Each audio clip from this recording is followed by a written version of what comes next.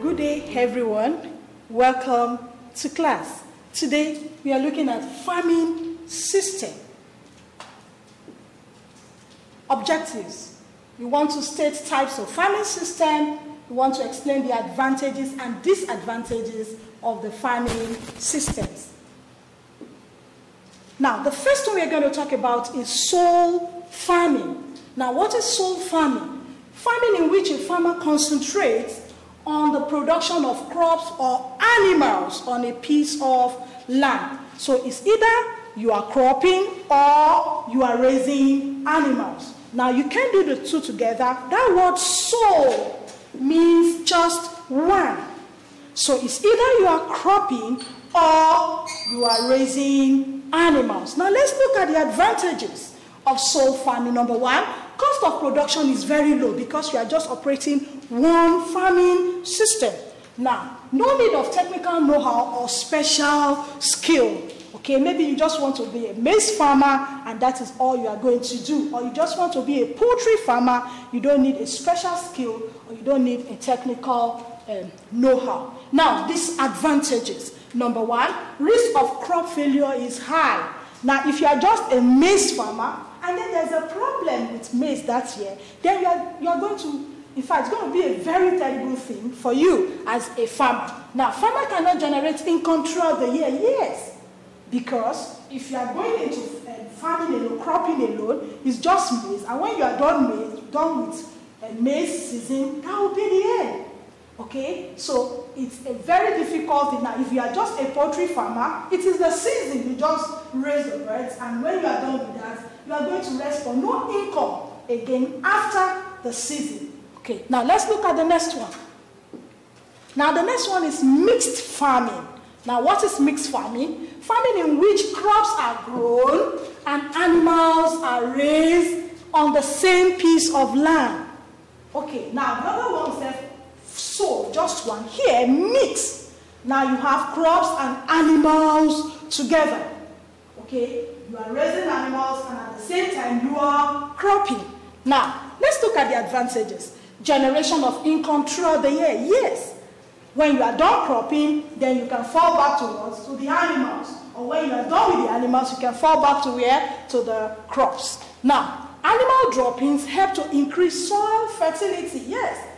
The droppings from the animals, you can bring it down to the farm and then it can actually help you know, to increase your um, soil fertility. You don't even need a chemical fertilizer. We've talked about that before now. You just come with the animal dropping and then you put it there on the farm. Now, crop residues can be used to, you know, to feed the animals, definitely.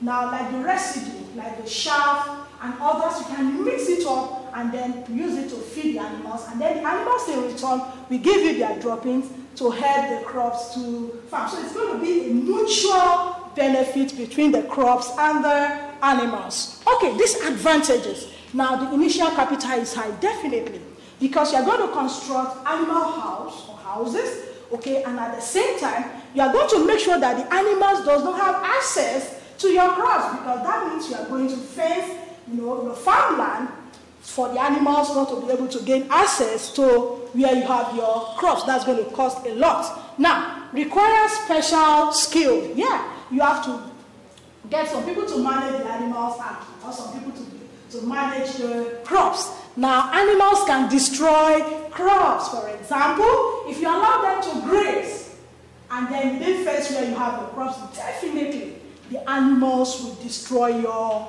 crops. Okay, the next one is pastoral farming. Now, what is pastoral farming? A system whereby a farmer keeps animals alone, just animals. Okay? No crops, just animals. Now, we have two types of pastoral farming. We have nomadic farming and then we have ranching. Nomadic farming or nomadic herding and ranching. Now, what is nomadic herding? Farmer moves from one place to another in search for what? Food. Now, most of us will see them. Some people, you know, with their cattle, with their sheep, with their goats, they move around. They move from one place to another. It's called nomadic herding. So the next one is ranching. Here, you fence the animals, you provide them with them feed. Okay, you don't move them around. They are stationary, okay? And then you come with your feet and then you feed them. But the nomadic one, they move from one place to another. In fact, some move from one country to another, some move from one state to another. I want to believe you have been seeing them all around where you are living.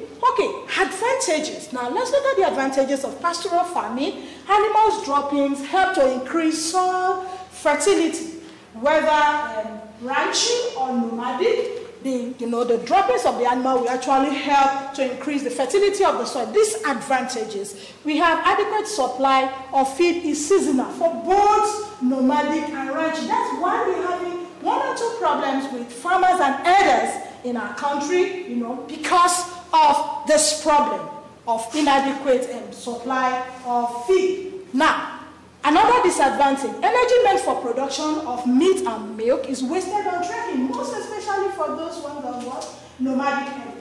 Now, the animals will definitely be tired, and so their rate of reproduction is going to reduce drastically because of the stress of moving from one place to another. So, it's better to, you know, to go into what? Ranching than nomadic herding. Okay, Taungya farming. Taungya farming. Now, what's the meaning of this? Now, it's a system whereby the farmer grows forest seedlings and crops on the same land at the same time.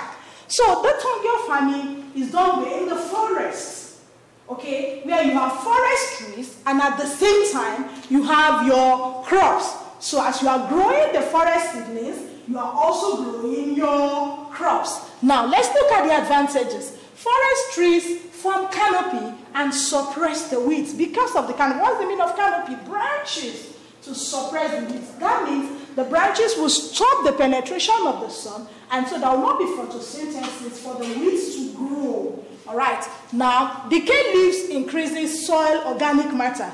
Okay. Leaves from the trees can help to increase the fertility of the soil and that will help your crops. Now, disadvantages. Canopy of tree can reduce photosynthesis ability of the crops, not only for weeds, it can also affect your crops. So, Tongia farming system is a system where you have your crops and your forest seedlings together.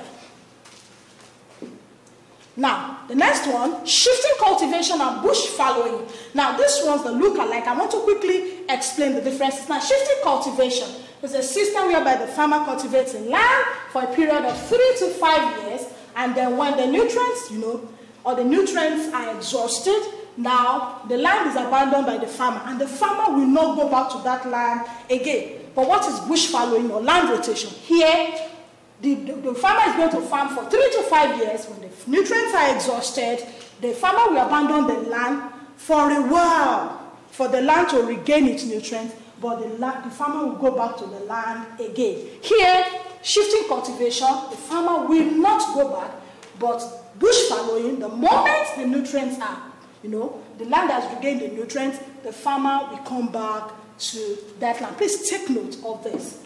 Now, the last one we're going to talk about is ley farming. Now, what is ley farming? Cultivation of food crops and forage crops. Now, what is forage crop?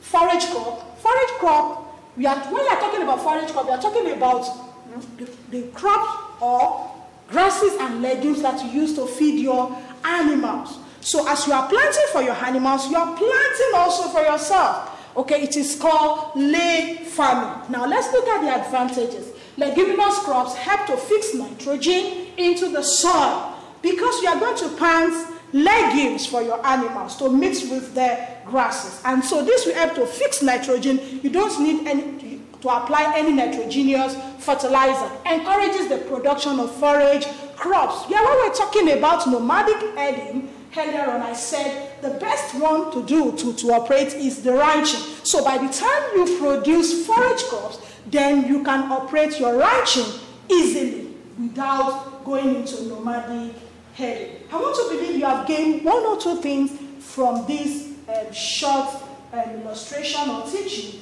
I will be expecting your question in your Google class. Thank you for paying attention. Have a great day.